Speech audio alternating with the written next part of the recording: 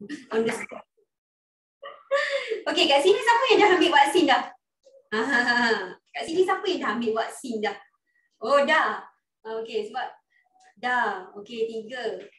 Dah. Okay, siapa lagi? Cuba angkat tangan. Saya boleh nampak kalau orang angkat tangan. Ainin dah. Oh, minggu depan second dose dah. Okay. Pfizer eh semua eh? oh, okay. Lima orang. Lima orang di kelas saya. Okay, ada belum eh? Aisyah belum lagi. Okay. So, how much? Sebab um, baru-baru ni semua student saya mungkin semua lah kan kebanyakan ambil semua cancel saya punya kelas. Saya kan ada private kelas. Cancel sebab tak tahan dos pertama lah kot. Awak semua okey ke? Dos pertama vaksin tak ada pening-pening kepala ke apa ke? Tak ada? Sakit badan ke? Ataupun ada yang demam ke? Oh, lenguh tangan. Lenguh tangan tu biasalah. Tapi ber, pening sikit je kan. Tapi based on pengalaman saya lah, first saya pun Pfizer juga. First okay lagi, macam bangga lah kan, macam happy lah macam tak sakit kan. Tapi second dose, Masya Allah. Dia bukan sakit, uh, saya tak demam tapi dia rasa macam, tahu tak orang yang kalau demam urat kan, dia sakit urat sana. Seluruh badan sakit tapi badan tak panas pun. Uh, kira saya akan finally tak tahan saya ambil Panadol lah. So kalau awak tak tahan just ambil je lah Panadol. Kalau saya saya tak suka pun ambil Panadol. Tapi dah tak tahan, uh, ambil juga. Uh, second dose agak lebih kuat rasanya. Uh, so memang masa tu awak, awak akan rasa macam nak masuk kelas pun tak boleh. Seriously, saya nak mengajar pun tak boleh. Sebab demam sejuk macam tu lah. Uh, just ambil Panadol kalau awak rasa tak tahan. Just ambil je. Lepas tu tiga hari macam tu dia cover. Okey lah, okey lah. Lepas tu life awak macam biasa balik. Okey lah. Uh. Sebab semua student akan dapat Pfizer. Macam husband saya dapat Sinovac. So dia second dose tak ada apa pun. Relax je. Okay. Ha. Okay, so kita mulakan kelas kita. Apa-apa pun saya minta maaf. Tak sangka nak jadi macam tu hari ni. Okay. So hari ni kita nak sambung kepada getah asli. Ah, saya tak tahulah umur yang macam awak ni kan kalau ada masih balik kampung mungkin pernah jumpa lah rubber tree ni. Ah, kan? Tapi kalau macam orang kata apa? Kalau dah dah kampung pun tak balik dah kan? Ataupun kampung bukan keluarga macam ni memang dah tak nampak dah, dah tak ada experience. Kalau saya, saya ada experience lah. Pergi ke ladang getah, kutip biji getah, pegang itu getah scrap tu, pegang main-main, main biji getah tu ada pengalaman lah masa saya kecil. Walaupun ayah saya bukan kerja ni lah tapi kampung sebab balik kampung. Okay eh? So kita nak tengok tentang getah asli eh. Kalau ada apa term yang awak tak faham, awak bagi tahu saya. Okey. Getah asli, nama dia. Tapi sebenarnya nama dia adalah latex eh. Dia merupakan cecair yang berwarna putih. Ha, tengok pada gambar raja ni, cecair dia berwarna putih. Dan kita boleh dapat dari susu tu. Maksudnya kalau kita potong dia punya kulit, ha, baru kita boleh dapat ha, susu getah tu. Eh. Okey, kalau saya tengok, saya tengok cerita upin lah. Ha, Okey. So kita kena toreh. Ha. So getah ni adalah sejenis macam kita belajar bab polimer, kita tak panggil dia sebagai larutan. Ha. Getah dia bukan larutan eh, dia panggil kolloid. Dia bukan larutan. Kita tak panggil. Kalau macam bahan kimia, larutan garam, larutan asid sulfurik. Tak. Eh? Sebab apa? Getah ni dia macam cecair yang terampai. Ha. So dia tak kita tak boleh panggil larutan latex tak akan eh dia sejenis kolloid lah. So nak tahu lah kenapa dia tak sebut sebagai ni. Dia macam sesuatu uh, uh, air yang terampai dengan benda-benda ni. Eh getah ini eh. Latex tu lah. Okey so latex ni dia adalah sejenis polimer semula jadi. Uh, so bila kita faham tentang polimer benda apa yang kita perlu tahu? Kita perlu tahu uh, okey saya dah lama tak pegang. Saya tak ingat dah Ha, saya dah lama tak pegang latex. Ha, saya tak sure lah dia melekat ke tak. Eh, tapi saya rasa dia melekat lah sebab getah ni kalau kita panaskan dia pun dia boleh melekit eh. Cuba awak ambil rubber. Ni rubber band tu. Rubber band awak panaskan dia pun melekit. So dia melekit lah. Kalau ikutkan sifat dia memang melekit lah. Okay, masa dia dalam keadaan macam ni. Tapi uh, bila dia jadi gumpalan tu, jadi pepejal yang ikut yang kita ikut sheet kotak ni kan. Uh, yang kita ikut sheet ni lah. Ah, gumpalan yang ikut shape bulat kan. Uh, yang tu dia macam bola je tau. Uh, yang tu saya ingat. Uh, saya ingat lagi lah. Uh, masa tu memang dia tak rasa melekit pun. Dia macam bola getah je. Okay. So kita tengok. Bila kita sebut tentang polimer, cuma getah ni polimer semula jadi. Okey, kita mestilah tahu polimer adalah repeating monomer. So monomer dia apa? Monomer nama dia adalah isoprena. Monomer dia nama dia adalah isoprena. Ha, isopren. Ha, dalam bahasa Inggeris kita panggil sebagai isopren. Minggu lepas cikgu ada buat macam mana kita nak bagi nama dia. Cuba awak tengok dia ada berapa karbon? Dia ada empat karbon dekat sini. Eh? Satu, dua, tiga, empat. Okay. So kalau awak tengok kat sini dia ada empat karbon. Ha, satu, dua, tiga, empat. Dia ada empat karbon dekat sini. So kalau karbon dia ada empat kita panggil dia but lah. Ha, lepas tu kita faham. Okay, butina. Empat kan? Empat. Tapi dia ada dua double bond. Sebab tu nama dia but one one three diina. Di tu sebab nak cakap double bond dia ada dua.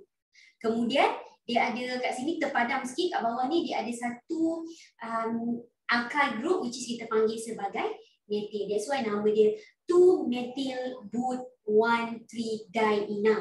Ataupun secara mudah kita panggil dia sebagai isoprena. So kenapa iso tu ya cikgu? Ha, kenapa nama dia kita panggil dia sebagai iso? Okay, iso tu nanti awak akan tahu bila awak belajar carbon compound dalam matri matrikulasi bentuk iso tu macam stoking. Ha, okey, eh? macam stoking. Okey.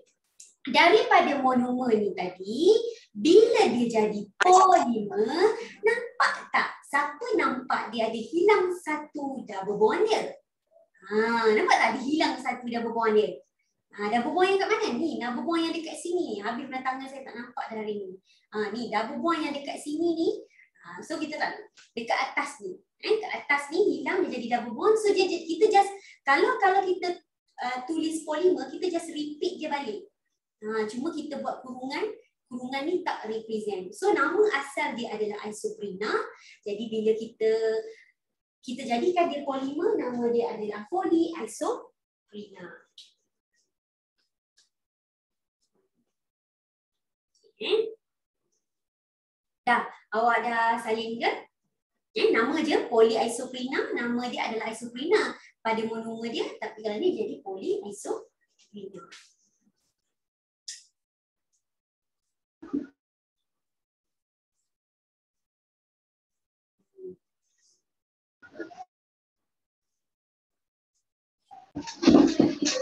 Ciri-ciri getah.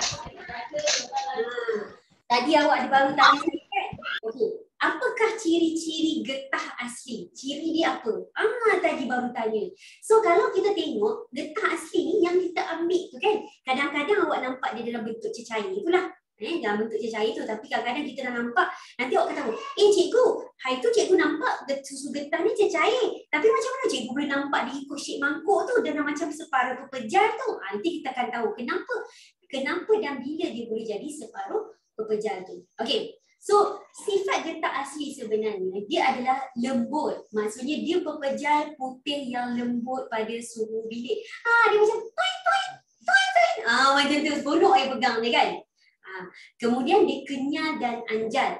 Eh, getah asli dapat diregangkan dan kembali kepada bentuk asal apabila dilepaskan. Tu kita fahamlah sifat kekenyalan kan. Ha, tapi janganlah over sangat eh. Kalau you tarik over sangat dia akan putus. Kita kena faham sebab dia ada sifat yang tak bagus dia. Ha, getah asli ni dia lembut.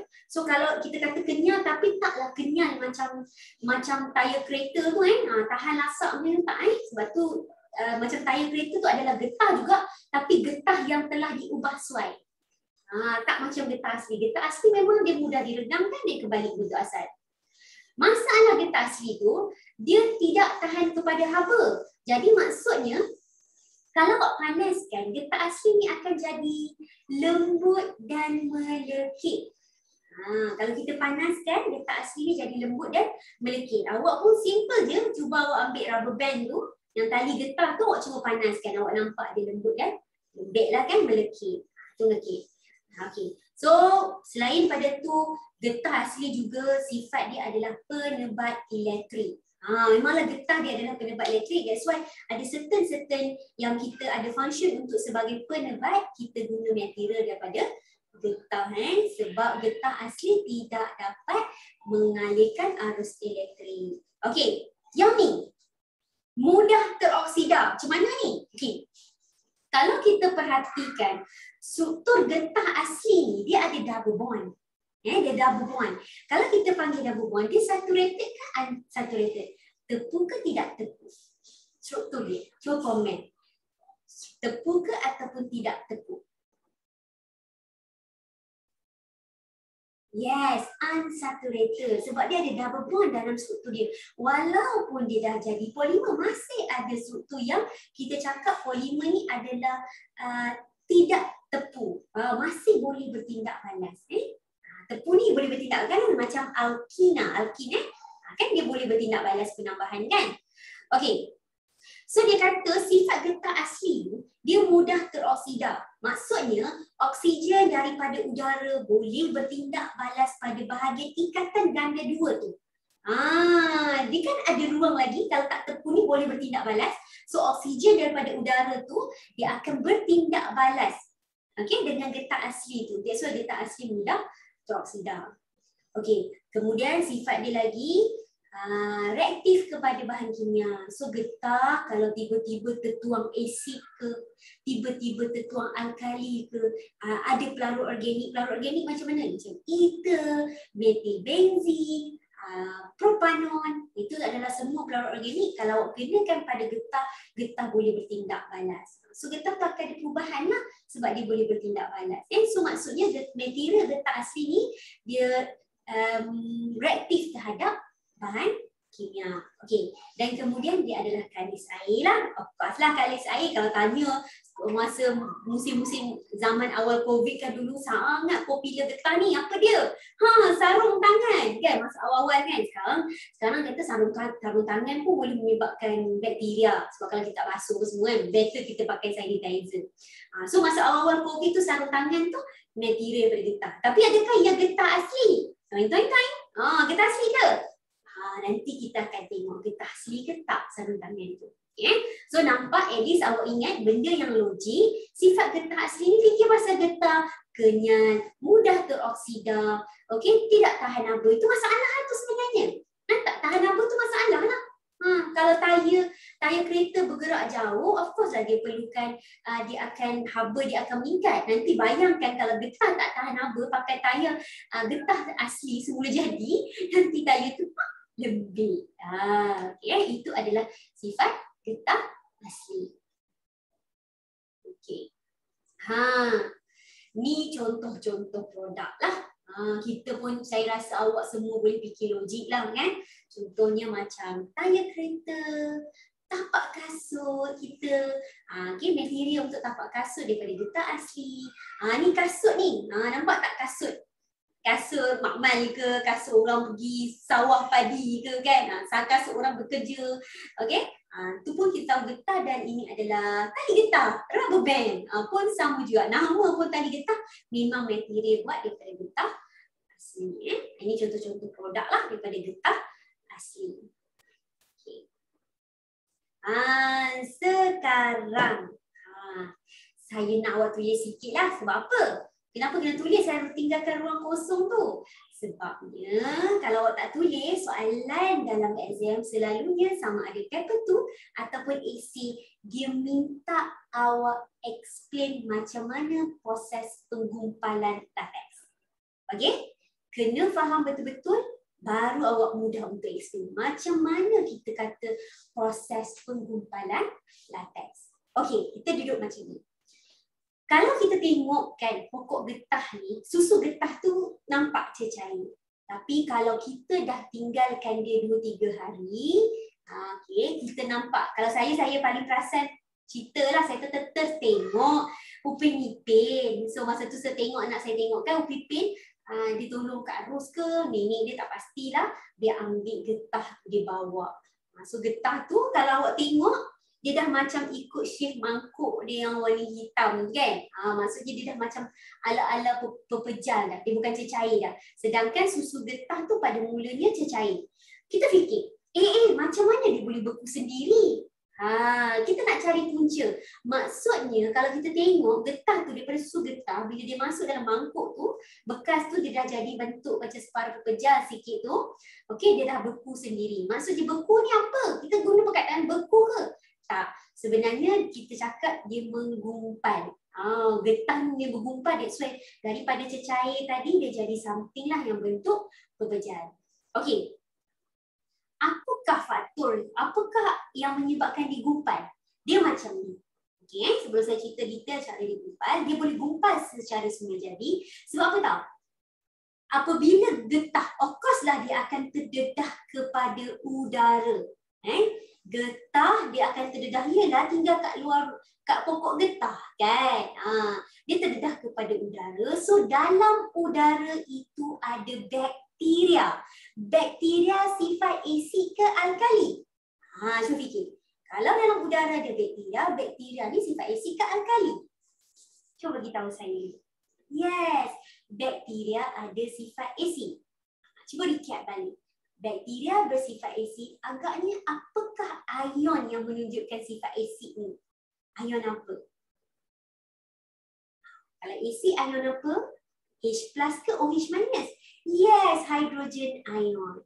So, sebenarnya latex ini boleh menggumpal secara semula jadi disebabkan udara ada bakteria. Bakteria ni dia akan perform jadi lactic acid. Lactic acid ni kategori adalah um, asid lemah saja. Dia bukan asid kuat eh, dia asid lemah. Jadi dalam kita nak menggumpal latex sama ada dia menggumpal secara semula jadi ataupun kita nak suruh digumpal. Ha, kenapa cikgu nak suruh digumpal pula? Biarlah je dia gumpal semula jadi. Ha, kenapa nak suruh digumpal?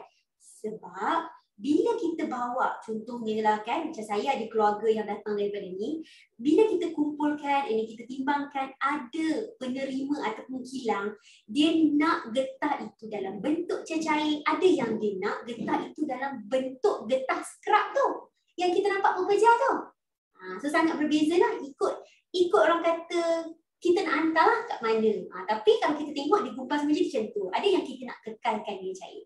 So sekarang saya nak cerita macam mana proses penggumpalan latex. Okey, cuba awak tengok struktur ni dah tak nampak di tangan saya dah. Okey eh. Cuba awak tengok struktur ni.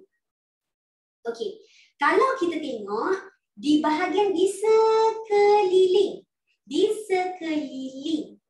Okey, membran ini, membran getah sebab kita cakap dia cair kan. Dia adalah colloid di mana di sekeliling dia tu ada charge yang bersifat negatif. Eh, charge. Maksudnya dia getah macam ni. Ha, contohlah katakanlah saya ada macam ni. Di sekeliling membran-membran saya ni mempunyai okay, membran protein yang bercharge negatif. So kita faham contohnya kalau saya ada macam ni. Okay, ini ada satu membran getah, zarah getah. Ini ada satu another zarah getah. Di sekeliling dia ada charge negatif. Ini pun charge negatif. Awak rasa kalau dia orang ni nak nak nak nak nak langgar ke? Ha, nak langgar tak? Rasa-rasa awak. Ini negatif. Ini charge negatif. Datang je. Rasa-rasa dia nak langgar ke nak bertolak? Ya, dia orang nak bertolak. Itu sebab dia. Yang pertama, membran dia yang bercharge negatif menyebabkan zarah-zarah getah ini tertolak apabila mendekati satu sama lain. So nak datang dekat je macam magnet kan? Kalau magnet sama kutub kan tak boleh kan? Ha, macam tu. So itu yang pertama zarah dia. Okay. So macam mana boleh tergumpal kan ni? Kemudian kita masukkan ion hidrogen. Ion hidrogen ni datang daripada mana? So ada dua. Awak kena tahu eh. Awak kena labelkan tulis sendiri tau. Okay ion hidrogen kalau dia menggumpal secara semula jadi dia datang dari udara. Eh? Udara bracket letak asid lactic. Ha, dalam bahasa Melayu lactic. Ha, dalam bahasa Inggeris lactic lah L A C T I C lactic acid. Eh? Lactic acid. Ya. Yeah? Kalau dia nak menggumpal secara semula jadi, asid datang daripada udara. Okay. Kalau kita nak suruh dia gumpal ni, eh getah ni, apa nak buat ni? Kan? awak letakkan asid etanoik. Tulis eh. Letakkan asid etanoik. Ha, saya tak boleh tulis hari ni. Okey, letakkan asid etanoik CH3COOH. Asid etanoik. Eh, asid etanoik, asid lemah kan? Ha, cuka. Ha, cuka getah tu. Yang selalu nak nak siram, nak asidkan muka orang pakai cuka getah je lah senang kan? Senang dapat. Kita akan cuma amal sekolah pula ambil HCl kan? Ha. Okay, kita pakai asid lactic, uh, asid etanoik saja. So macam mana? Okay. Tadi membran-membran ni bercharge negatif. Sekarang ion hidrogen yang datang daripada asid, hidrogen ion, dia akan menyutralkan charge-charge negatif di sekeliling membran protein tu. Ha, ialah ini negatif tiba-tiba datang positif. Negatif dengan positif dia akan menyutralkan. Itu yang dia buat. So kalau tengok pada gambar rajah ni, dia akan menyutralkan eh, negatif membran yang ada pada protein membran tu. Negatif charge. Eh? Ha, itu datang daripada H+. Okey, yang seterusnya. Bila dia dah neutral, eh, eh saya dah neutral lah dia cakap macam tu. So apa dia betul? Zarah-zarah getah tadi dia berlanggar antara satu sama lain. Ketebang bom. Ha, dia kata. pecah. So dia akan berpecah. Apa yang pecah? Pecah ni membran luar dia ni. Ha, yang awak tengok yang dia coverkan dia ni. Yang kat luar yang dia cover ni. Yang tu yang dia akan pecah. Eh? Yang kat luar yang dia cover ni yang akan pecah. So membran dia tu bila sebab sebab apa dia boleh pecah cikgu? Ha, tanya pula. Cikgu sebab apa dia pecah? Bila dia dah neutral, kita nak mendekati dah okey sebab neutral kan tapi kalau negatif dia asyik tolak tolak tak boleh nak dekat tapi bila dia dah neutral dia boleh mendekati okey so menyebabkan membran ni botol ni macam saya tengok pam pecah okey so bila pecah serat-serat dekat dalam ni polimer getah mana satu polimer getah yang urat macam rambut tu akan bergabung antara satu sama lain dan menyebabkan dia menggumpal Ha, itulah kita nak cerita proses macam mana dia menggumpal. Okey. So saya bagi ruang untuk awak salin dulu. Okey. Yang first. Okey. Membran protein yang bercharge negatif menyebabkan zarah getah tertolak apabila mendekati antara satu sama lain.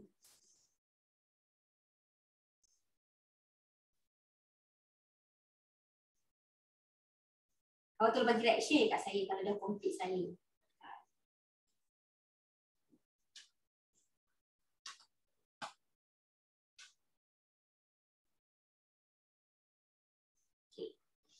Okay. Saya repeat kenapa tak? Bagi awak ingat. Selepas membran protein mencari negatif, datangnya ion hidrogen daripada asid menyutralkan charge negatif pada membran protein. Selalu empat markah ayat ni. Kadang-kadang enam. Enam saya beritahu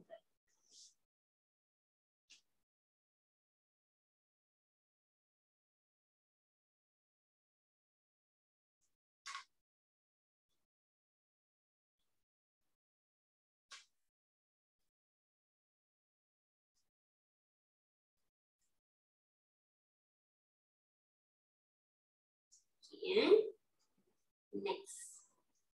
Lepas tu, dah menyutralkan zarah-zarah getah berlanggar antara satu sama lain menyebabkan membran dia berpecah.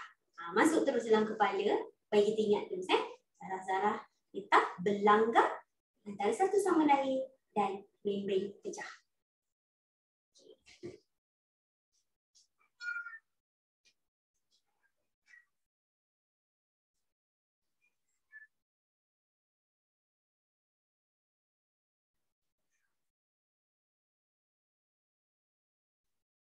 Okay. Dan yang seterusnya selepas dia orang berpecah, polimer getah bergabung menyebabkan latex menggumpal. Guna bahasa yang paling mudah. Polimer getah bergabung menyebabkan uh, latex menggumpal. Dah okey. Okay. Selalunya huraian tu empat markah lah. Saya perasan kan Tengganu atau lepas keluar. Tak silap saya lah. Dia keluar soalan, dia suruh explain macam mana getah menggumpal. Macam mana? Kita kena explain empat ayat ni. Cerita macam mana getah menggumpal.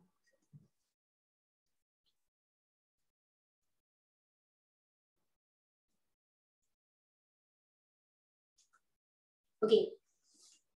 So kalau getah boleh menggumpal bagi tahu dengan cara semula jadi datang daripada asid daripada udara dengan cara kita nak suruh dia menggumpal datang daripada asid etanoik yang kita letakkan. Okey. Kenapa ya? Ha, kenapa ya terjadi? Tapi kan saya bagi tahu kalau dekat industri kadang-kadang kilang dia tak nak getah dalam bentuk pepejalan. Mungkin dia, dia nak getah yang kita bagi kat dia dalam bentuk larutan. Jadi sekarang kita tak nak bagi getah tu menggumpal. Kalau tak nak tergumpal, kalau tak nak tergumpal, jangan bagi pecah. Kalau tak nak pecah, jangan bagi belanggar. Kalau tak nak belanggar, mestilah tertolak. Kita kena fikir, saya tak nak bagi dia gumpal, jangan bagi dia berlanggar. Kalau tak nak bagi dia berlanggar, mesti dia tertolak antara satu sama lain. Kalau tertolak, maksudnya kita kena maintainkan charge negatif dekat sekeliling dia supaya dia remain tertolak each other. So cara dia macam mana? Kalau kita nak suruh dia menggumpal, kita letakkan ion hidrogen sebab nak neutralkan negatif charge. Tetapi kalau kita nak halang dia daripada menggumpal, kita letak larutan amonia. Amonia ni bersifat alkali. Amonia alkali lemah. Jadi kita pakai asid etanoik pun asid lemah, kita pakai kuat. Amonia pun alkali lemah. Apa tujuan dia? Tujuan dia kita letakkan amonia sebab kita nak halang daripada latex itu mudah menggumpal. Macam mana cara dia nak halang ni? Cuba fikir. Okey, bila awak masukkan larutan amonia, amonia dia ada ion hidroksida. Sebab apa? Sebab dia bersifat alkali, ada ion OH lah. So, contohnya kita tak boleh elak this latex terdedah kepada udara. Yalah dia duduk kat luar kan? Ha, kita tak boleh elak. So, maksudnya udara dekat luar tu ada bakteria. Jadi, bila kita memasukkan larutan amonia yang ada ion OH minus okay, yang ada ion OH minus datang asid kan asid ada kat sini datangnya ion OH minus so dia akan meneutralkan bakteria tu. Ah, itu sebab dia. Jadi bila dia dah neutralkan asid daripada udara tu, membran protein darah akan kekal bercharge negatif. That's why dia orang akan tertolak each other. Itulah senang. So, benda yang penting awak kena ingat apa dia adalah bahan apa yang nak suruh dia gumpal adalah asid. Sebab sentiasa ingat bahawa latex ini charge negatif. Dan barang apa, larutan apa yang nak halang dia daripada menggumpal, kena letak negatif sama dengan dia. Supaya kita nak neutralkan. Ayat yang paling penting tujuan dia nak meneutralkan asid oleh bakteria. Okay, eh? Dua bahan ini, satu menyuruh ataupun menyebabkan dia menggumpal, satu lagi menghalang daripada penggumpalan latex. Okay, ada apa-apa nak tanya dulu sebelum saya proceed?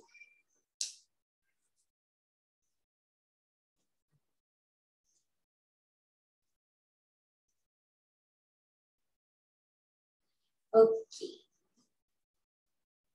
Benda ni buat time bila? Ha, implikasi dia. Okey. Maksudnya macam ni. Kata kalau rubber paper tu, okey dia dah ambil getah, ini dia pergi jual getah dekat pembeli getah. Eh? Pembeli getah. So pembeli getah ni nak jual ke nak nak pergi ke hantar ke kilang. So proses dia buat tu adalah masa tu. Ha, masa tu lah. Sama ada sebab kalau uh, tukang penori getah, dia tak buat kerja-kerja macam tu. Ha, penori getah tiba-tiba dia suruh uh, biarkan getah ni cair, tuang dekat situ. Tak eh. Ha, tu kerja pembeli getah. Ha, itulah pengalaman yang saya tengok lah pengalaman orang yang buat. Benda ni dia buat ada mula-mula penori getah, dia mungkin pokok getah dia sendiri, so dijual kepada orang yang beli getah scrap. Macam ni. Macam dulu saya tengok pakcik-pakcik saya macam ni lah. Ha, ni getah yang kita nampak ni. Yang getah scrub. Memang busuk eh. Ha, yelah saya dulu pun datang daripada tempat ni. Saya tahulah suasana kat sini memang busuk lah getah scrub ni. Memang busuk. Okay. Ha, so getah ni diorang bagilah dekat orang timbang lah timbang kilo. Uh, dia jual and then orang yang akan proses getah nak nak jual kepada kilang ke apa dia akan memproses getah tu sama ada dia nak cairkan getah tu ataupun dia nak kekal dia suruh menggumpai kenapa sebab ni maksudnya pelbagai cara letak diproses sebelum dihantar ke kilang untuk diproses. Sebelum kita hantar ke kilang untuk diproses buat kasut ke apa, dia akan proses getah ni. Ha, maksudnya macam ni ada company kilang, dia dia kilang getah yang akan memproses getah tu saja. Ha, dia keluarkanlah. Dia macam ni lah kan. Kalau kita buat satu komputer, bukannya uh, apa bahan semua bahan komputer tu datang daripada company kita. Ada microchip, ada processor, ada screen, ada apa lagi segala keyboard, semua tu kita panggil vendor-vendor kita. Datang daripada subcontractor kita, daripada tempat lain. Ha, okay. Kalau kita kilang buat kasut, so kita nak getah. So kita minta lah eh, vendor kita daripada kilang getah ni. Ha, so kita nak material yang macam mana? Sama ada getah kita tu nak minta dibagi kat kita dalam bentuk getah keping ke, getah dalam bentuk blok ke, ataupun getah dalam bentuk scrap sebelum dihantar ke kilang untuk proses. Dia mengikut piawaian dan uh, Syah getah apa kilang tu sendirilah nak getah dalam bentuk mana untuk diproseskan produk dia. Kalau dia nak buat tayar ke, dia nak buat apa ke. Okey. Ini contoh-contoh lah eh. Okey. Kita akan pergi kepada pembukanan getah. Apa pula pembukanan getah ni? Ha, apa pula pembukanan getah ni? Okey, getah asli tak bagus sangat.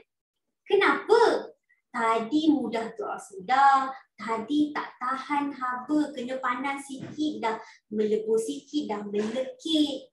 Lagi uh, getah tu mudah apa bertindak balas dengan bahan kimia, tertumpah isi kan? Ah, ha, kan? Getah. Kalau kita tengok sarung tangan getah kita, bayangkan kalau tertumpah isi. Ah, kan? So maksudnya getah semula jadi ni okey tapi kalau kenyal kan tak kenyal power sangat lah kata macam tu. Tak bagus sangat. So that's why kita ada pembukanan getah. Pembukanan getah ini adalah proses di mana kita buat getah yang lebih kenyal dan berkualiti melalui penghasilan rangkaian silang antara rantai polimer. Awak ubah suai struktur getah awak tadi, kita top upkan. Ah, macam ni. Senang bahasa. Awak pernah tengok orang buat rumah, orang buat konkrit. Pernah tengok tak orang buat konkrit macam mana? Okey. Kita tahu kalau nak buat konkrit daripada simen, batu, air, kaca-kaca-kaca, simen, kuat.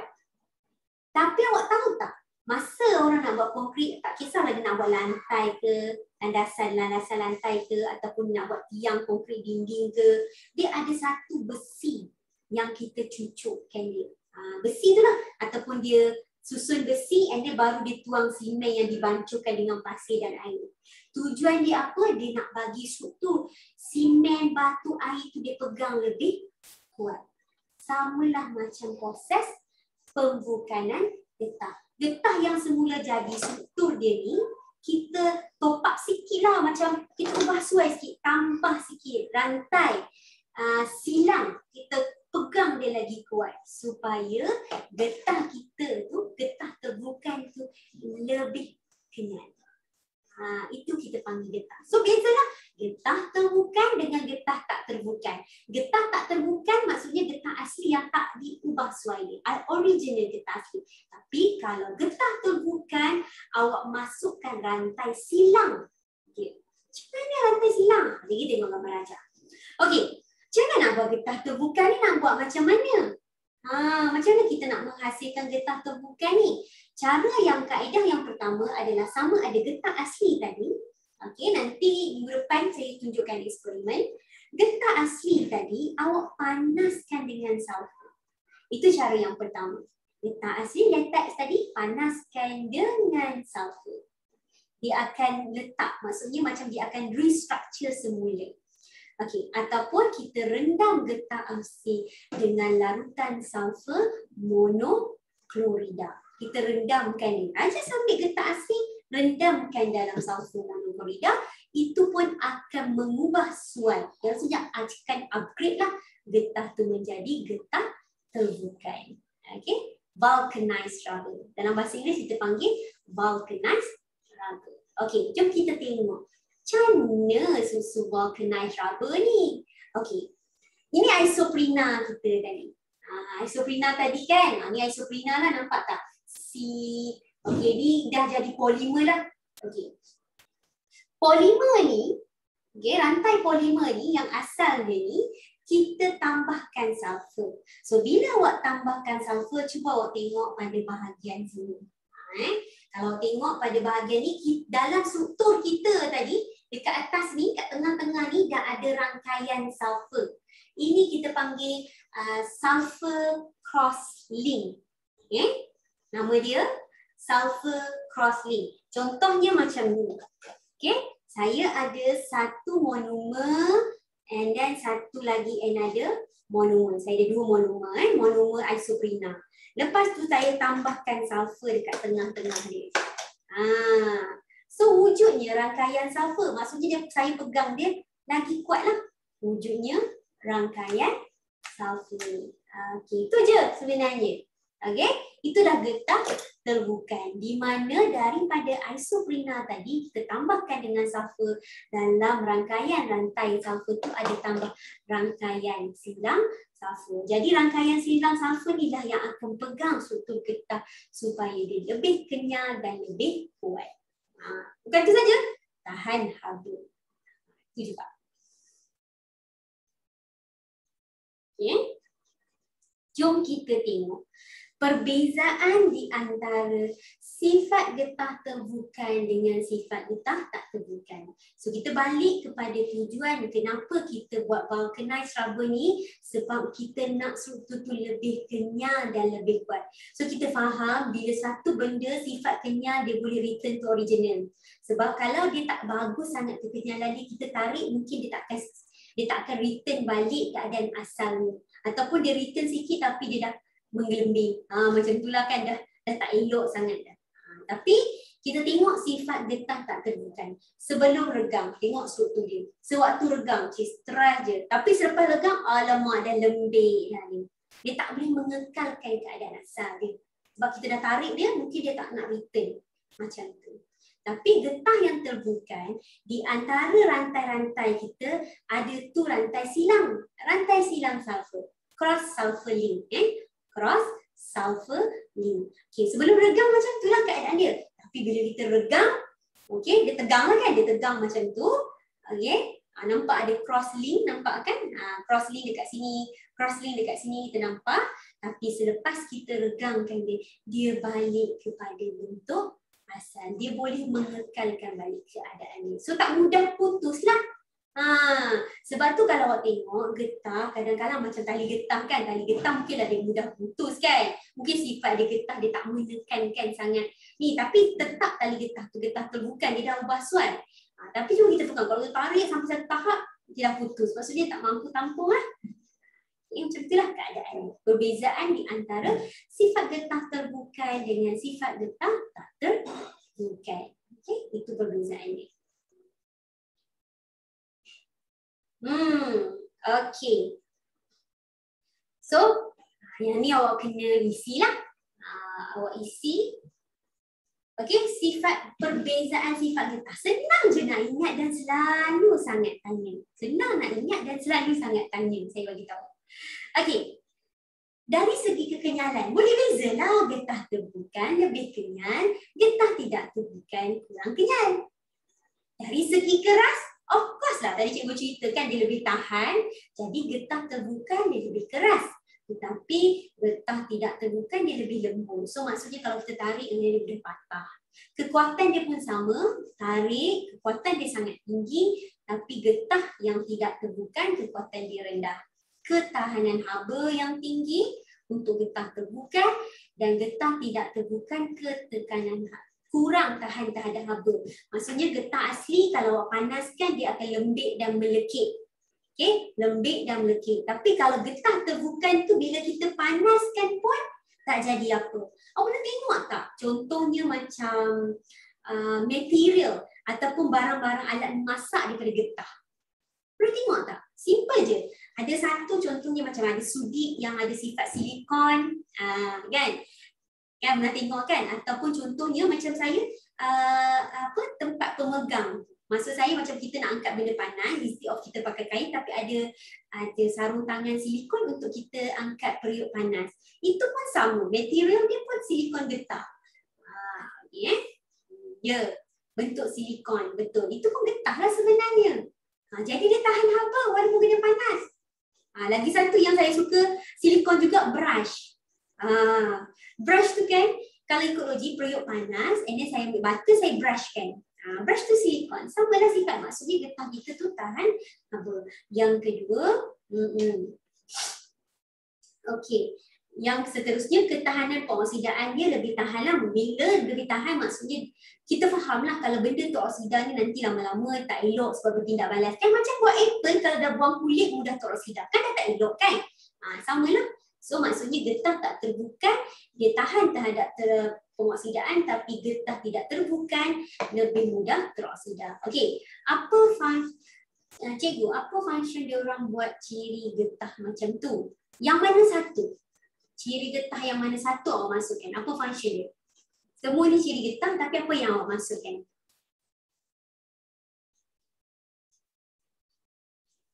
Yang vulcanized. Okay. Vulcanized rubber ni maksudnya dia improvekan getah daripada getah asli. Maksudnya getah asli tak bagus sangat. Ada banyak masalah. Tak kenyal sangat uh, kita tak tahan haba. Jadi bila kita improvekan getah tu jadi vulcanized rubber, so dia better. Uh, itu tujuan dia. Eh? Vulcanized rubber compared to. Okay. So saya bagi masa untuk awak salin sekejap. Jadi kita tengok sifat getah sintetik pula.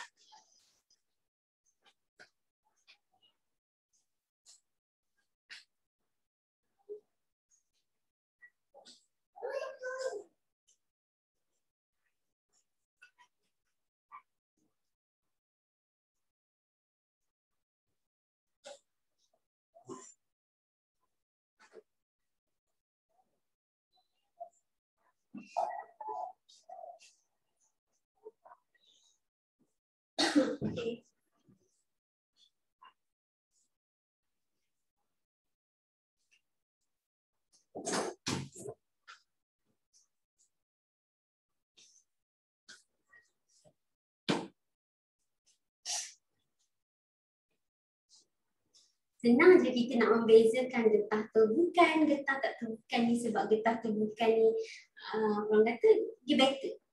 Dia lebih baik. Cara dia macam mana? Ada cross sulfur ni. Cross sulfur tu yang memegang. Eh? Tu getah tu.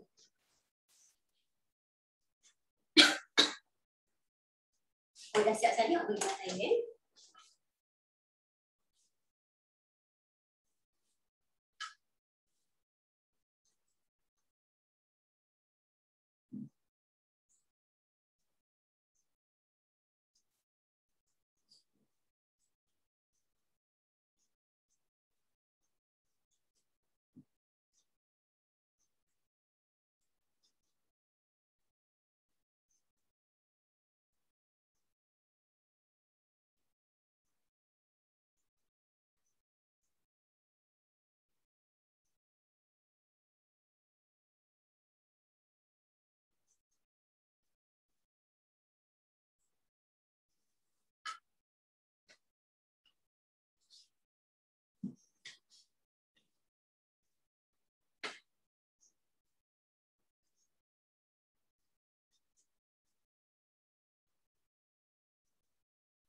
Okay. Ada tanya saya, cikgu macam mana kita nak membezakan dia tu getah asli ataupun tidak?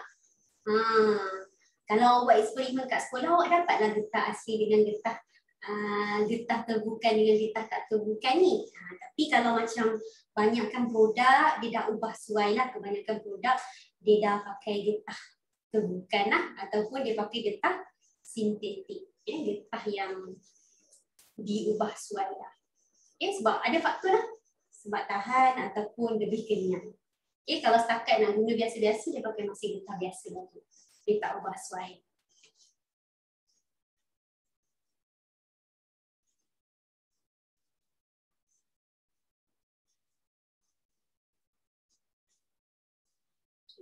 Dah siap bagi tahu saya? Okey. Ada persoalan lagi tak tentang getah? Nampak eh kita dah belajar tentang getah, saya nak bagi tahu. Okey. Beza getah sintetik dengan getah terbukan. Ada beza sebab sintetik ni maksudnya manusia cipta getah tu. Ha, tapi kalau getah terbukan ni daripada getah asli cuma kita ubah suai je, upgrade dia lah, tambah tambah baik dia je. Itu sangat berbeza lah. Eh, getah asli. Okey. Ah, mari kita tengok getah sintetik pula. Ah. Dia macam ni. Apa beza getah asli? Uh, getah terbukan tadi dengan getah sintetik. Ingat tak kita belajar polimer? Polimer ada polimer sintetik dan polimer semula jadi masa kita awal-awal belajar. So dalam polimer ada kategori polimer. Ada polimer elastomer. Ha, siapa ingat lagi ada polimer apa lagi ni? Ha, cuba tengok balik nota awak. Ada polimer apa lagi kita belajar? Kita ada tiga jenis polimer kan? Hmm. Thermoset, uh, polimer elastomer. Okay, ter polimer thermoset. Okay. Okey. Polimer, termoplastik, ya. Termoplastik yang jadi plastik biasa yang kita boleh acu semula. Ha. Kalau termoset, dia tak boleh. Ha. No, no, no dia kata. Ha. Tapi kalau elastomer, maksudnya polimer yang ada sifat elastik. Ha. Jadi dalam sintetik, getah sintetik ni adalah kategori polimer elastomer polimer elastoma ni adalah man-made. Ha, bila kita sebut sintetiknya macam man-made, macam ni lah. Sintetik macam ni. Contohnya macam ester. Ester adalah sintetik. Maksudnya perasa tambahan yang manusia cipta untuk rasa pisang, untuk rasa apple. Tapi kalau kita ambil buat kek pisang guna daripada pisang kan perasa semula jadi. Ha, nampak kan? Itu adalah sintetik. Manusia cipta. Sintetik ni macam mana? Dia menggunakan bahan kimia. Ha, itu beza dia. Okay. So getah sintetik adalah sejenis polimer sintetik yang bersifat kenyal ataupun polimer elastomer. Contoh-contoh getah sintetik. Nampak tak? Dia lebih bagus daripada getah asli. Sifat dia lah. Okay. Yang pertama dia tahan haba. Okay, awak boleh tulis keras. Eh, so tu dia walaupun dia kenyal tapi dia lebih keras. Ha. Kadang-kadang cover kita ni pun getah juga kan, cover phone kan. Ha. Tapi tahanlah. Ha, contohnya cover phone. Kan, ni getah ni. Eh. Uh, sintetik. Eh. Polimer sintetik. Cover phone kan, kalau tidak susah nak masuk kan. Cover phone pun sama. Okay. Keras, kenyal, tahan haba. Okay penebat haba. Ada bahagian-bahagian digunakan sebagai penebat haba, ya, material-material penebat haba, tahan pengoksidaan dan tahan bahan kimia. So tahan bahan kimia ni kalau terkena alkohol ke pelarut organik ke apa semua, dia tak akan jadi apa-apa. Okey eh? Nah, itu sifat getah sintetik. Kita upgrade getah. Hmm? Ini ciri-ciri dia.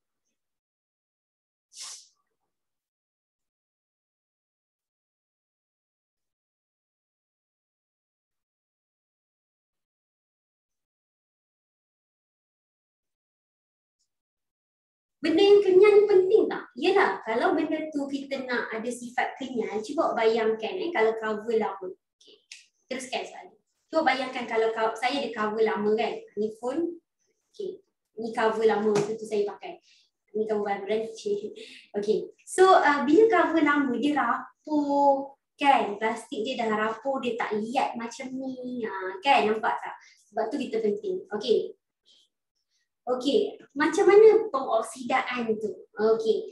pengoksidaan ni maksudnya dia akan bertindak balas. Ha, senang je. Kalau awak nak faham, dia tak adalah tanya kat awak macam mana pengoksidaan apa jadi tu. Ha, saya boleh bagi analogi macam apple je. Senang je. Apple kalau kupas kulit, dia akan bertindak balas dengan udara. Udara tu yang menyebabkan apple itu jadi warna reddish brown iaitu warna perang-perang sedikit. Kan? Maksudnya eh kenapa apple tu bila buang kulit dia jadi reddish brown? Sebab permukaan apple tu dah terdedah kepada udara. Jadi apple itu dah teroksida. Okey. So sama macam getah ni tahan pengoksidaan. Kita tahu kalau kalau macam material getah, kalau dia boleh bertindak balas dengan udara, dia akan jadi uh, dia akan jadi tak elok lah. Uh, macam tu. So kita tak nak dia jadi pengoksidaan. Simple je. Kalau awak tengok benda macam produk getah tapi dah yang dah lama dah. Dia dah lama, dia dah buruk dah kan. Uh, maksudnya dia dah teroksida dekat situ. Okay? Dia jadi rupa dia tak cantik. Maksudnya sebab apa? Bila semakin lama dia terdedah kepada udara, dia akan mudah teroksida. Okay? Jadi kalau benda tu tak tahan dengan pengoksidaan, cepatlah dia rosak eh? sebab mudah teroksida. Sebab. Sebab udara ada di mana-mana. Okay?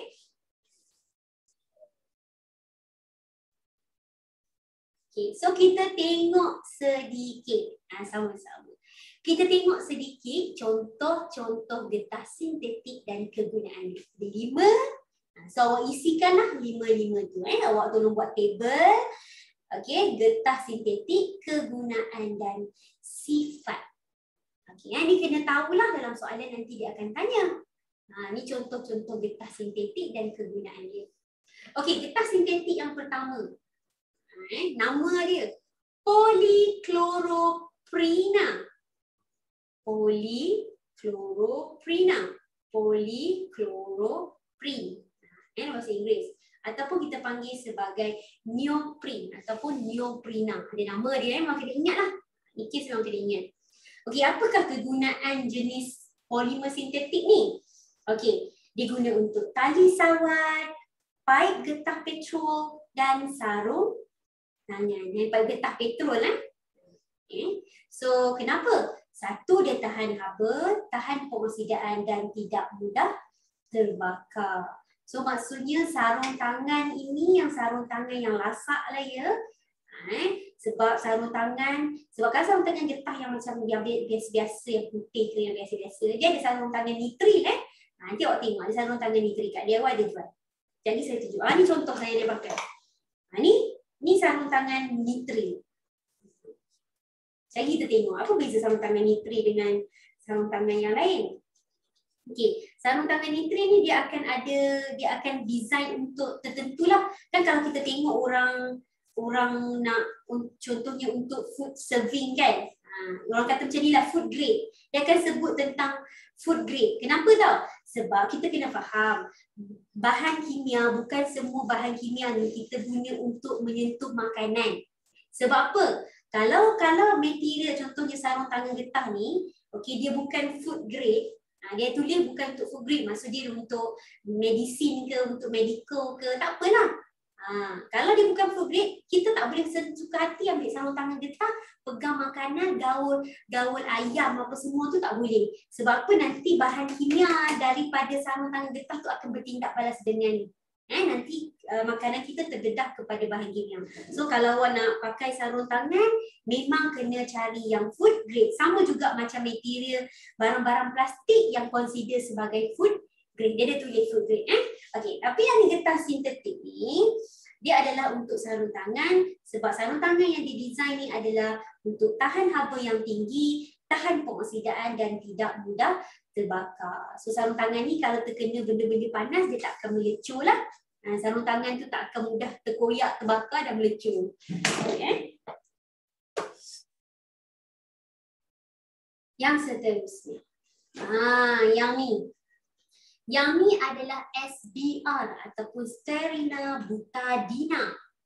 Ha, SBR. SBR ni maksudnya ada tayar yang kita buat daripada getah asli. Eh, tapi tapi tayar itu bukan pakai getah asli. Tayar itu dia guna getah tegukan. Tak boleh pakai getah asli awak. Kalau pakai getah asli, tayar tu buat daripada getah asli, habis dah. Jalan lama sikit nanti lembik. Ha, eh, maksudnya getah asli dia tak tahan panas sebab bila dia moving jalan jalan raya panas, uh, suhu meningkat, uh, tem, apa, pressure meningkat nanti tayar tu akan lembik. So tayar selain kita, guna getah tegukan, ada juga kita guna daripada starina butadina. Eh, kita buat tayar. Okay. Contohnya tayar dan tapak kasut. Okay. Kenapa eh nak ada sintetik ni cikgu pakai je lah daripada getah asli yang dibasuai. Kita kena faham dalam industri. Ha, eh? Kita kena faham dalam industri. Maknanya bukan semua adalah datang daripada sumber semula jadi. Eh, bukan semua. Sebab apa? Sumber semula jadi, kalau dia habis pokok getah awak, dia tahan dalam berapa tahun je. Lepas tu dia kena buat penanaman semula. Awak bayangkanlah kalau supplier. Sebab kalau ikutkan getah bukan daripada Malaysia. Siapa ingat getah siapa yang bawa? Siapa yang bawa getah ke Malaysia? Kalau tidak kalau tidak getah ni, kalau ikut sejarah, getah bukan Malaysia punya tumbuh-tumbuhan. Kan? So beruntunglah kepada apa? Zaman dulu panggil apa saya terlupa history kan. Saya ni kalau buat history ni tak ingat sangat dah lama dah tinggal. Penjajah. Ha. Baguslah penjajah sebenarnya. Tiba-tiba cakap penjajah bagus kan. Baguslah penjajah sebab penjajah yang datang ke negara kita ni dibawa dibawa ekonomi dekat kita iaitu getah. Sebab getah ni bukan datang daripada uh, tumbuhan daripada pokok Malaysia. Eh tak silap saya antara British atau Malaysia tak tahu tak, tak ingat sangat. saya minta maaf lah yang tu. okay. So dia yang bawa pokok getah datang ke Malaysia mula-mula dia starting kat Perak aku tak silap saya. Okay. So kalau getah asli, sumber getah ni habis, kalau tak ada getah sintetik, tak boleh lah juga kan? Kita tak boleh ada continuous penggunaan ni. Eh. So bukan semua bahan menggunakan getah asli. Ni getah sintetik lah nama dia Styrina butadina. Kegunaan dia tapak uh, tayar dan tapak kasut. Ha, so ingat tapak kasut getah ni. Tahan pelelasan dan tahan haba yang tinggi. Okay, pelelasan ni maksudnya macam kita kompres dia. Ha, ala-ala macam tu lah pelelasan tu. Maksudnya macam kita tekan dia, kita kompres dia, ha, itu panggil pelelasan. Okay, tahan pelelasan dan tahan haba yang tinggi. Ha, haba yang tinggi of course lah kaya kan. Kita tahan haba lah kalau tidak lembek nanti kaya. Okay.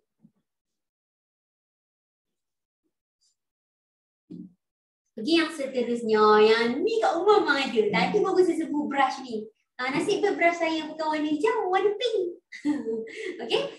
So yang ni getah sintetik kita panggil getah silikon. Memang ada lah buat potong kek lah, buat brush lah, siapa-siapa. Perempuan ni pandai lah benda macam ni. Okay. So getah silikon, okay, kegunaan dia getah. Contohnya implan perubatan. Implan eh. Okay.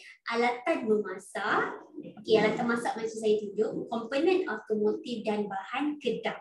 Okay, bahan kedap ni macam mana? Okay, bahan kedap ni macam ni. Ah, saya ada satu bahan. Nanti saya tunjuk. Tak tahu boleh nampak ke tak dengan green screen. Saya tunjuk apa itu bahan kedap.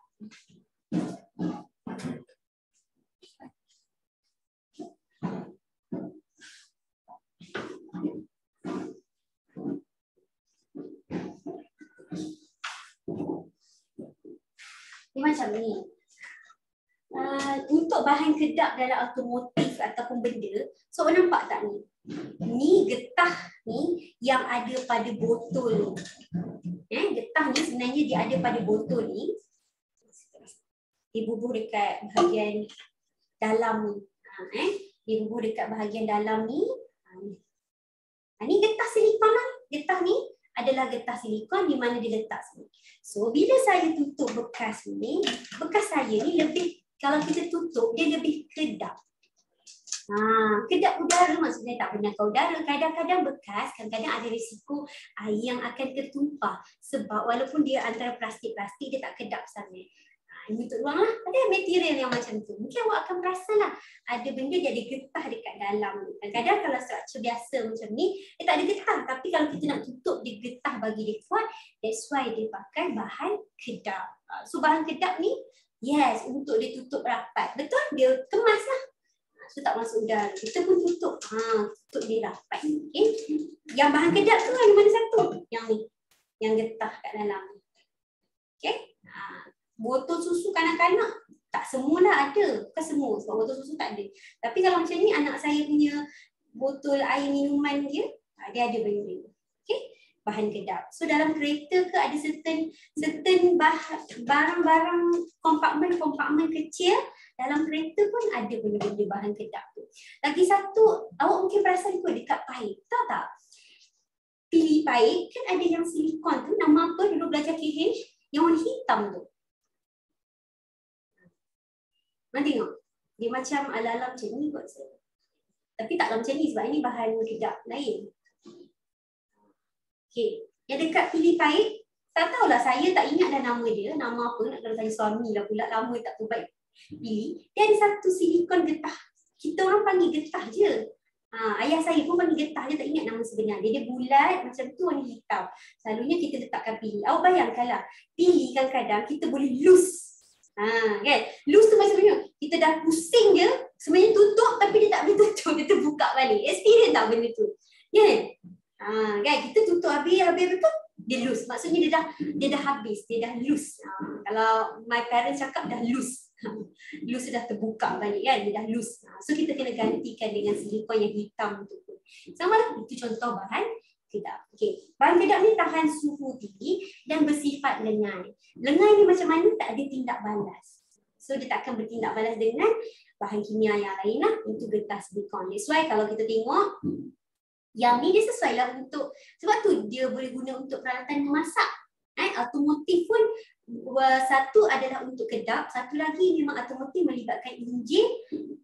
Dia perlu tahan haba yang tinggi. Eh, enjin pemanasan. Okey.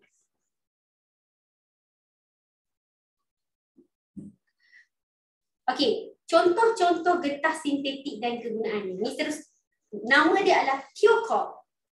Okey, Kyoko ni adalah sejenis bahan kedap. Dia tahan terhadap minyak dan pelarut. Eh? Contoh nama dia adalah Kyoko. Dia adalah sejenis bahan kedap. Semata-mata material dia untuk bahan, buat bahan kedap ni je. Ha, ni material dia adalah Kyoko. So depends lah tapi dia lebih kepada kenderaan lah eh. Eh, mungkin yang ni just silikon biasa je. Eh, ni getah silikon yang biasa je. So kalau untuk kereta apa semua lain eh. Dia material yang lebih tahan lasak lah eh. Buat kereta awak. Ha, kan? Eh, ini cokol bahan kedap tahan terhadap minyak dan pelarut memang bab bab ini dan bab akan datang semua benda-benda yang macam ni lah. Kena ingat nanti nanti bab yang akan datang kena ingat pula bahan kimia ni. Eh bahan pewangi nama apa dalam deterjen?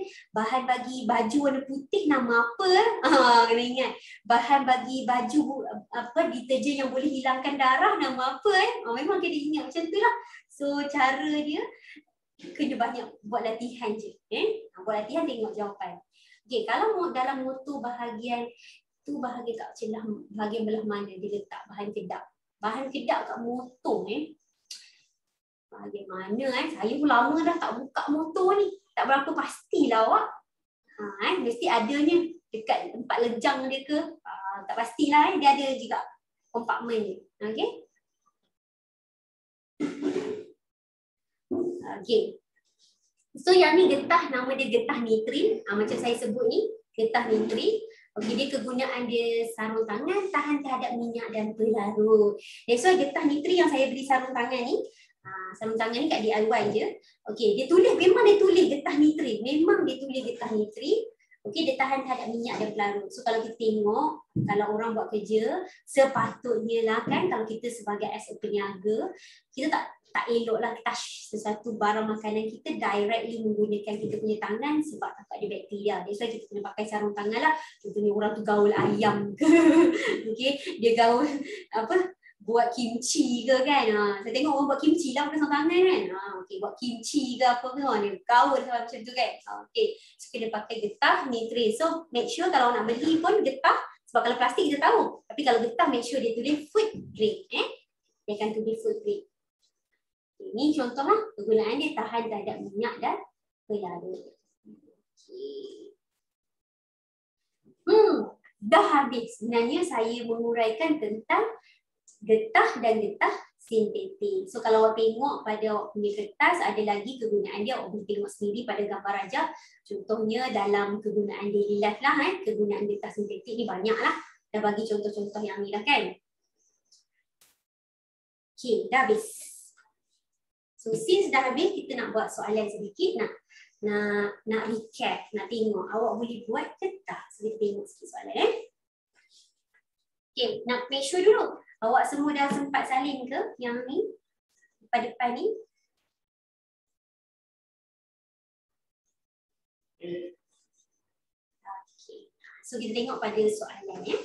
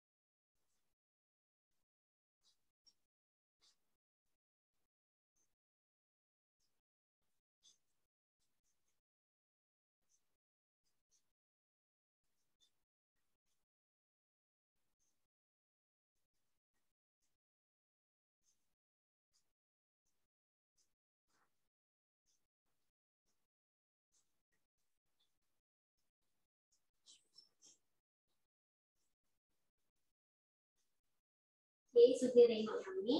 Latihan sedikit. Okay, kita saja kita tambah perkataan ini. Mikrofon saya. Awak boleh dengar ke suara saya? Saya baru tukar mikrofon.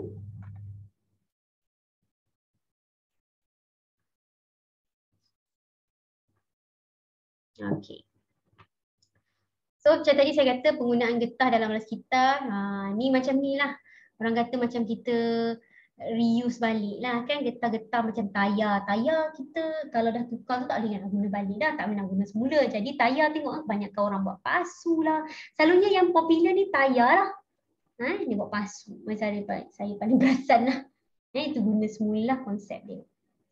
Okay, so yang ni situasi dia. Tolong tanda eh. Ahmad ialah seorang penuris getah. Dia mengumpul latex uh, daripada pokok getah dan membawanya ke kilang. Apakah yang perlu uh, Ahmad lakukan untuk menghalang daripada latex menggumpal sebelum sampai ke kilang? Kita nak buat apa? Kita nak prevent ni.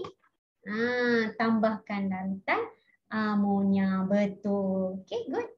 Ingatlah tu. Okay. Raja satu menunjukkan item P dihasilkan daripada getah asli yang ditambahkan dengan bahan X untuk menjadikan dia lebih kuat di samping mengekalkan kekenyalan. Apakah bahan air? Kita nak bagi dia lebih kuat. Okey, betul. Sebab tu ada cross sulfur link. Okey. Antara berikut yang manakah getah sintetik? Getah sintetik. Cuba tanda awak baru je tanya saya. Ha, yang tanya saya tadi. Yes thiokol. Eh. Thiokol adalah contoh getah sintetik. Habis tu yang lain ni adalah polimer, eh. polimer sintetik. Okey. Antara penyataan berikut yang manakah benar menerangkan penggumpalan getah? Ni nak suruh dia nak gumpal getah, eh. nak gumpal. Eh. Untuk getah tu koagulate. So apa dia buat?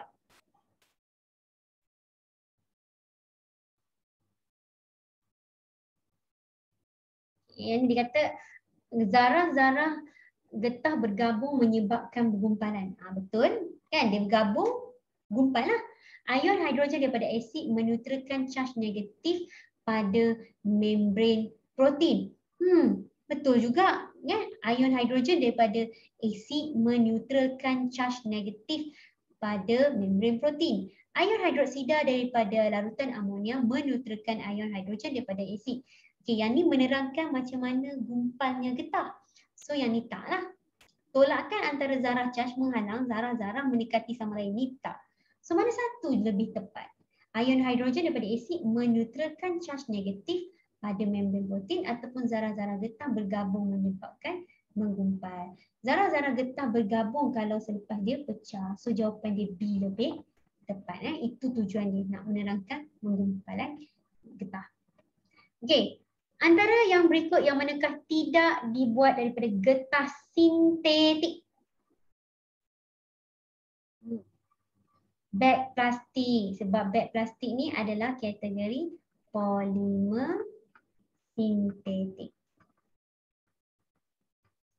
Okay. Maklumat berikut uh, menunjukkan ciri-ciri bagi getah P. Okay. Tahan haba, tidak mengalirkan arus elektrik, tidak bertindak balas dengan bahan api, tidak mudah teroksida getah mana yang ada ciri-ciri yang macam ni? Ha, tidak mudah tersida. Okey, tahan haba. Okey, yang ni tak ada kaitan. Okey, yang first eh. Neoprena. Okey, awak salin kan tadi? Ada dekat atas awak eh. Okey. Rajah menunjukkan formula struktur bagi dua jenis getah yang berbeza iaitu X dan Y. Okay. So kalau kita tengok Y ni ada sulfur link. Eh, sulfur link, cross sulfur link nama dia. Ataupun rangkaian silang sulfur. Yang ni kita dah decide sebagai getah terbukan. Vulcanized rubber. Yang ni tak terbukan. Labelkan dulu senang kita nak cari. Getah X lagi elastik. Salah lah kan? Getah terbukan yang lagi elastik. Okay. Getah X lebih mudah teroksida. Betul teroksida ni tak bagus kan? Okay. Getah X tidak tahan terhadap haba uh, daripada getah Y. Uh, lebih tahan, tidak tahan pula. Lebih tahan. Salahlah getah Y kan terbukan, dia lagi bagus. Okey, getah X mempunyai takat lebur lebih tinggi. Salah jugalah. Sebab yang tahan panas, yang bagus semua getah terbukan. Jadi B lah getah X mudah teroksida. Sebab yang bagus tidak mudah teroksida.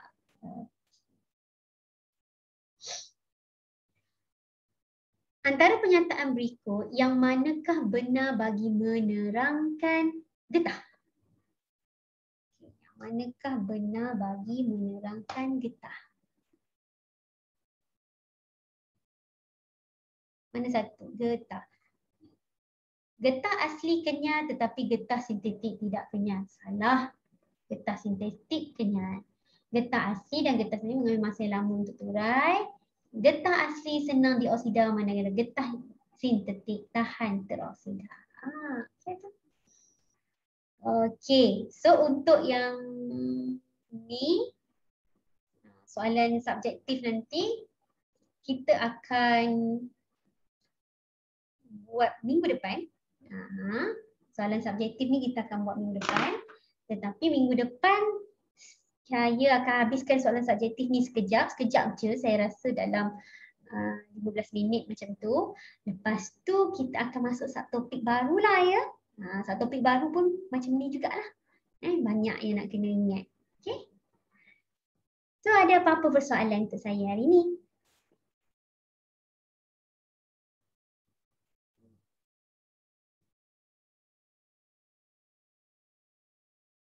topik ni dah habis. Ah, topik ni dah habis. Kita ada lagi satu topik iaitu bab lima. Bab yang last sekali. Ini bahan kimia, industri. Untuk bab getah dah habis, bab sabun. Bab baru, bab baru eh. Ha, oh, cikgu tersebut subtopik. Minta maaf, saya tersalah sebut.